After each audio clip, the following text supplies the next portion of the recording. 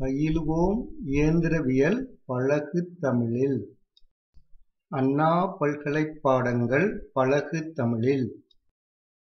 வழங்குவது தமிழ்மெக் Thalamuthu. Hi students இன்று GE eight two nine two engineering mechanics இதில் fourth unit dynamics of particles module four point one seven இந்த four point one செவனை ஒரே இதில் ரெண்டு பிரின்சிபல் சொல்ல சொல்லியிருக்கிறேன். State Newton's second law of motion நியூட்டனுடைய second law of மோஷனை நம்ம சொல்லணும். அண்ட் டி ஆலம்பர்ட்ஸ் பிரின்சிபல் சொல்லணும்.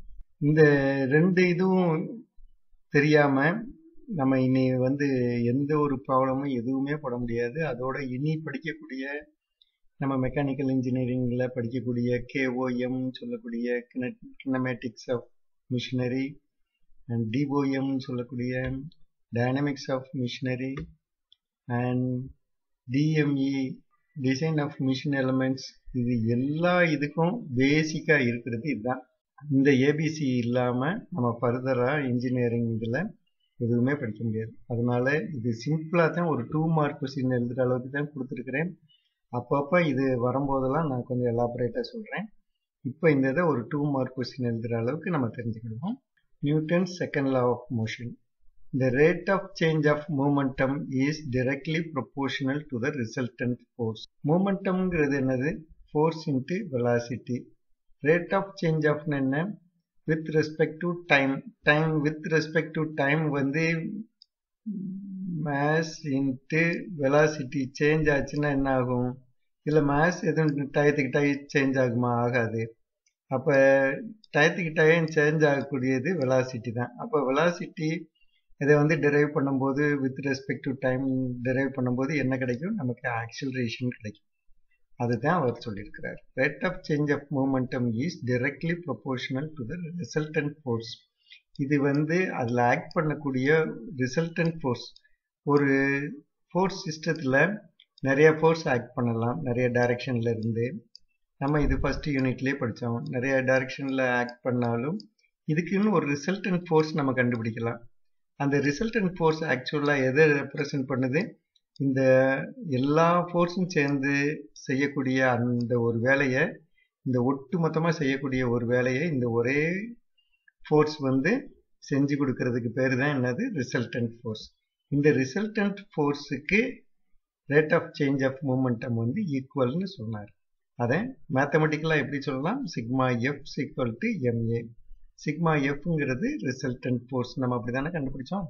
அந்த இது இப்போ இதே இதை என்ன கொஞ்சம் சிம்பிளாக ஈஸியாக சொல்கிறதுக்கு இந்த இந்த ரிசல்டன்ட் ஃபோர்ஸ் ஆக்டிங் இந்த direction of motion is equal to the product இந்த இடத்துல ப்ராடக்ட்டுங்கிறது வந்து multiplication product of mass and acceleration the direction of resultant force இந்த resultant force உடைய directionலையே இருக்கக்கூடிய acceleration அண்ட் மேஸ் ரெண்டையும் மல்டிப்ளை பண்ணால் அது வந்து எதுக்கு equal resultant ஃபோர்ஸுக்கு equal mathematically it can be written as sigma F equal to MA இதை தூக்கத்தில் தட்டி எழுப்பி கேட்டாலும் நீ சொல்கிறாப்புல இருக்கணும்.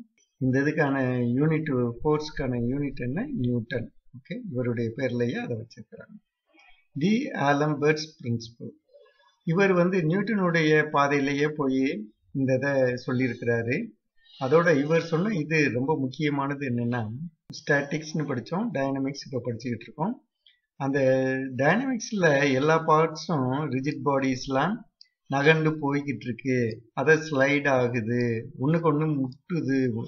அப்படிலாம் நம்ம படிக்கிறோம்.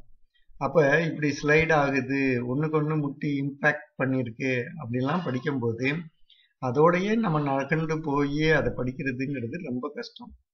அது ஆனால் நம்ம முதல்ல படித்த ஸ்டாட்டிக்ஸ் மாதிரி இதே மாதிரி ஒரு ரிஜிட் பாடி இருக்குது அதில் வேரியஸ் ஸ்போர்ட்ஸ் ஆக்ட் பண்ணுது. இது எந்த டைரக்ஷனில் நகண்டு போகிறதுக்கு சான்சஸ் இருக்குது இந்த ரிசல்டன்ட் ஃபோர்ஸில் நகண்டு போகிற சான்சஸ் இருக்குதுன்னு நம்ம சொல்கிறது மாதிரி இதை ஸ்டாட்டிக் ப்ராப்ளமாக மாற்றிட்டோம்னா ரொம்ப ஈஸியாக நம்ம சால்வ் பண்ணலாம். அதைத்தான் இவர் பண்ணி கொடுத்துருக்கிறார். டைனமிக் ப்ராப்ளத்தை பூரா ஸ்டாட்டிக் எக்விலிபிரியமாக மாற்றி நம்மளை ஈஸியாக ஸ்டடி பண்ணுறதுக்கு வச்சிருக்கிறார். அதே மாதிரி அவர் புதுசாகலாம் ரொம்ப இது இல்லை நம்மளை கஷ்டப்படுத்தலை. ஏற்கனவே நியூட்டன் சொன்ன இதுல இருந்து தான் அப்படியே கொஞ்சம் மாற்றி நமக்காக ஈஸி பண்ணி கொடுத்துருக்கிறார். By Newton second law of motion sigma F equal to MA இதில் ஒன்றும் சந்தேகம் இல்லை அவர் இந்த மே எம்ஏங்கிறத இந்த சைடு கொண்டு வந்துட்டார். லெஃப்ட் ஹேண்ட் சைடை அப்போ which can be written as sigma F minus MA equal to zero ஆயிடுச்சு அப்போ ஜீரோ வாய்ட்ஸ்னு என்ன ஆயிடுச்சு? அந்த சிஸ்டம் வந்து யூக்லிபிரியத்துக்கு வந்துருச்சு. அதில் ஏற்கனவே ஆக்ட் பண்ணிக்கிட்டு இருக்கிறதுக்கு தகுந்தாப்புல தான் இந்த எம்ஏன்னு ஆக்சிலரேஷனில் இந்த பாடி நகண்டு போய்கிட்டு இருந்துச்சு. அதை வந்து ஒரு ஸ்டேட்டிக் இதுக்கு கொண்டு வர்றதுக்காக அவர் இன்னொரு ஃபோர்ஸை உள்ள இன்ட்ரடியூஸ் பண்ணியிருக்கிறார் அது அந்த ஃபோர்ஸு அதே இதே இதுக்கு ஈக்குவலாக இருக்கிறாப்புல ஆனால் ஆப்போசிட் டைரக்ஷனில் இன்ட்ரடியூஸ் பண்ணியிருக்கிறார் இதை எப்படி எழுதலாம்?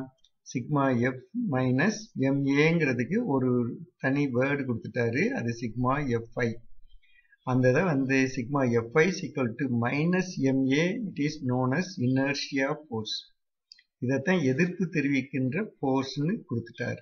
ஏற்கனவே ஒரு ஃபோர்ஸ் ஆக்ட் பண்ணிக்கிட்டு இருக்கு. அதுக்கு ஈக்குவலாக இது எம்ஏங்கிற இதுதான் அதனுடைய மேக்னிடியூட் அதுக்கு மைனஸ் எம்ஏங்கிற ஒரு ஃபோர்ஸ் இந்த எதிர் திசையில் அதை கொடுக்கறதுனால இது வந்து நகண்டு போகாமல் ஒரே இடத்துல நின்றுரும் அப்போ நம்ம ஸ்டடி பண்ணுறதுக்கு ஈஸி அப்படின்னு இதை கொடுத்தாரு. அப்படி அந்த கொடுக்குற எதிர் திசையில் கொடுக்குற ஃபோர்ஸுக்கு பேர் இனர்ஷியா ஃபோர்ஸ் இந்த இனர்ஷியா ஃபோர்ஸ் உடைய மேக்னிடியூட் வந்து ஏற்கனவே நியூட்டன் சொன்ன அதே எம்ஏ தான். ஆனால் அதுக்கு மைனஸ் இருக்கு. மைனஸ் எம்ஏ ஏன்னா இது ஆப்போசிட் டைரக்ஷனில் ஒர்க் பண்ணுது. அப்போ ஏற்கனவே ஒர்க் பண்ணிக்கிட்டு இருக்க ஃபோர்ஸும் நம்ம கொடுக்குற ஆப்போசிட் டைரக்ஷனில் கொடுக்குற ஃபோர்ஸ் இனர்ஷியா ஃபோர்ஸையும் சேர்த்தோம்னா அது ஒன்றுக்கு ஒன்று கேன்சல் ஆகி ஜீரோ ஆயிடுது அப்போ நகண்டு போய்கிட்டு இருக்க ஒரு பாடி வந்து நம்ம ஆப்போசிட்ல இருந்து இன்னொரு ஃபோர்ஸையும் கொடுத்து ஒரு ஸ்டேட்டிக் கண்டிஷனுக்கு கொண்டு வந்துடுறோம். இதைத்தான் அவர் சிம்பிளாக சொல்லியிருக்கிறாரு. இந்த ரெண்டு லைனை மட்டும் நீ நல்லா நினைவு வச்சுக்க. டூ மார்க் கொஸ்டின்ஸ் இது ஃப்ரீக்வெண்ட்டாக கேட்குறாங்க.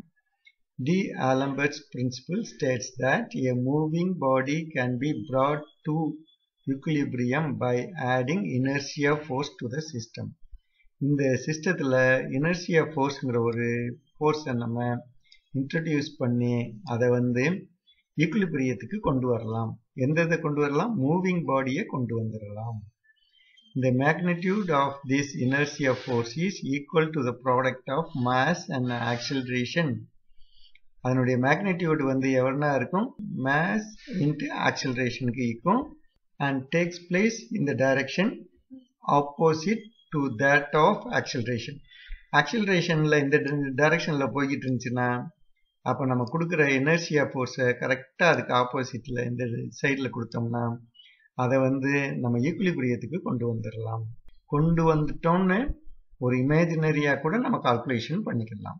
ஸ்டாட்டிக் லாஸ்லாம் அதில் அப்ளை பண்ணி ஈஸியாக நம்ம சால்வ் பண்ணலாம்.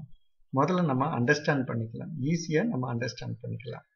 அதனால அவர் மேக்னெட்டியூடு எவ்வளவு இருக்கும்னு சொல்லிட்டாரு அது என்ன டைரக்ஷனில் இருக்கும்னு சொல்லிட்டாரு அந்த ஆப்போசிட்டில் கொடுக்குற ஃபோர்ஸுக்கான பேருன்னு சொல்லிட்டார். இப்போ அதுக்கு ஆப்போசிட்டில் கொடுக்குற ஃபோர்ஸ் வந்து பேர் வந்து இனர்ஷியா ஃபோர்ஸு அதனுடைய மேக்னெட்டியூடு வந்து நியூட்டன் சொன்ன அதே இதுதான் மை எம்ஏ ஆனால் அதுக்கு வந்து மைனஸ் வேல்யூ இருக்கு. இது எந்த டைரக்ஷனில் ஒர்க் பண்ணும்? நியூட்டன் சொன்னது வந்து இந்த டைரக்ஷனில் ஒர்க் பண்ணுதுன்னா அதுக்கு நேர் ஆப்போசிட்டில் இந்த இனர்ஷியா ஃபோர்ஸை நம்ம கொடுக்கணும். அப்போ அது வந்து ஆக்சிலரேஷனுக்கு ஆப்போசிட் டைரக்ஷனில் இருக்குது அப்படின்னு கொடுத்துட்டார். அதனால் டி ஆலம்பர்ட்ஸ் பிரின்சிபிள் படி கூட நம்ம எல்லா ப்ராப்ளத்தையும் சால்வ் பண்ணலாம். அதில் Newton second law of motion படியும் சால்வ் பண்ணலாம்.